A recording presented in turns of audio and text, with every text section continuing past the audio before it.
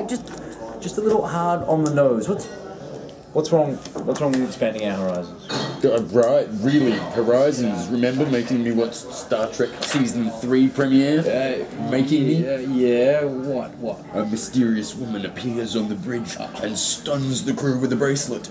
And when they wake up, Spock's brain No, is surgically no, removed from his head. No, no. What followed can only be described as a calamity. Yeah, yeah, yeah. Okay, yeah, yeah. No, you, you're right. She's from Star Trek. She's a Vulcan. She told me just before you came in. She tracked us from across the vast reaches of space just to annoy you.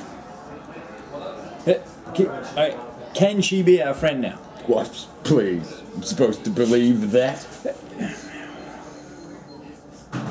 Yeah. Yes. Yeah. Are you, did you film that? Yeah. Oh, I filmed the last one. Well, I filmed this one. Okay, cool. I filmed you. That, that is one